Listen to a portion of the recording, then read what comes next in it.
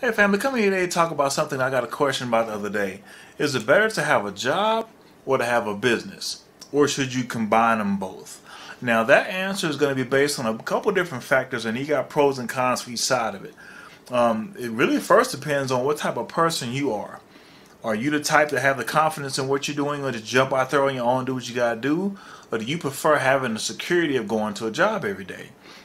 Some people like either one me and myself, I did the whole corporate thing for like 10 years. And then uh, kind of decided that that was not for me anymore. I wanted to spend more time with my family and kind of go from there. You know, but they both have benefits. And let's talk about the, the pros of, of having a job first. All right, the benefit of having a job is that you know every two weeks or every month you're going to get a guaranteed paycheck. Whether that's based on salary or based on how many hours you're working overtime, you know that every two weeks, as long as you keep going to work every day, you're going to get this paycheck. You're also going to get your health insurance, life insurance, all the benefits that go along with that. So it gives you a level of security that as long as you provide this level of energy, you receive this level of compensation for that. And for so many people, that's great. They may have a couple kids at home, and let's say they don't have a business set up, whatever. This is going to give them the best opportunity for themselves. And that's what most of us were taught. We're always taught to get good grades, go to college, get a great job, work that job for a bunch of years, get your retirement saved up, retire and be happy. Now, the downside of having a job is that you only make what they deem you are allowed to make.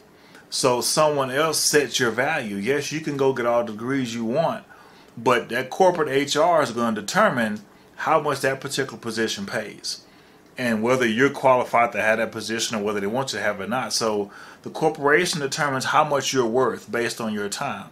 So you're trading your time for money with them as well. Also, you are going to be required to submit to their policies. You got to dress a certain way when you come in. You got to come in.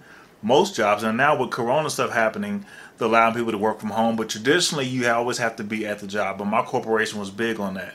Had to fight tooth and nail to get um, to work from home one day a week, and that was kind of crazy. But ended up finally getting that done. But in the end, you have to yield to their rules. You have to deal with having someone above you who tells you what to do, having a manager or something of that nature as well. So those are all the, the things that go along with having a job. The side about having your business is is now the benefits are almost the exact opposites of what the job is. Now, the, the part about jobs people don't like is having to go to work every day at 7, 8 o'clock whenever you had to get there, leaving at 5, following the rules, everything else. When you have your own company, you set those rules.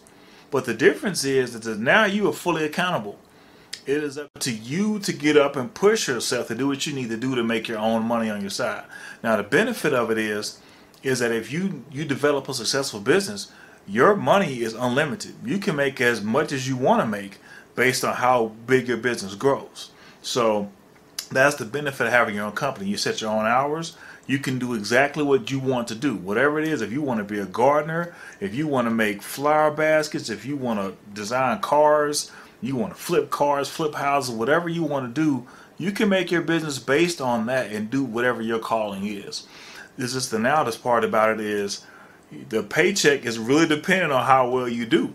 Some days you may work for a month and not get paid. And that's the thing about having a small business. You have to be able to ride those waves. When you make a crazy month or make a whole bunch of money, don't blow it all because next month could be down. You can make three sales in one month and the next month not make any. So you just never know. But the goal is, for me personally, I enjoy having my own business. I left corporate. Uh, it'd be it was a year in April, so almost a year and a half coming up here uh, a little bit later this summer and I loved it. I mean, I wish I would have did it sooner, but the timing was perfect. But for me personally, I knew that I could trade. I knew I know how to flip properties. I knew about other businesses and things to set up as well. And I just felt like at 42 years old, I was not going to be at somebody else's job, having someone tell me when I got to be there. Um, meetings to show up to that weren't worth my time, things of that nature. So, you know, you have to look at both sides of it and what is for you you know, and have confidence and stuff. If you are going to jump out there and do a business, go ahead and go for it. If you don't want to do that, it is nothing wrong with having a job. It is nothing wrong with having a job. Now, I still recommend it, even though you do have a job, you invest your savings into something that earns money for you on the side. because we've all learned with this COVID-19 stuff that a job can disappear like nothing. So make sure that you are covering all your angles. And just because you don't have your own business on the side doesn't mean you can't be investing in properties, investing on a real estate investment trust or crowdfunding type thing, things of that nature as well. So a lot of different angles to look at, but want to kind of go over you guys the benefits of both sides of it, the cons of both sides of it, you know, and just kind of squash the dilemma because so many people are shaming folks for having a job. No, let people do what they got to do. If they want to go to work every day, let them go to work every day. Because when you have your own business, you're going to go to work every day too. You're just going to work for yourself. So, you know, it's no, it's no shame in the game. Just make sure that whatever you're doing, you're happy doing it. And do it for the right reason. Use all your gifts to your fullest abilities and go get it. But this is Lynwood's Finest. If you guys enjoyed this message, please follow me on Instagram or Twitter at the same name. Let me know how you guys feel about working or you doing a hybrid. Did you leave your job? When did you leave it? How did it felt? Felt great for me. Like it felt freaking awesome when I left. But um, let me know how you guys are doing. Thank you so much. Take care.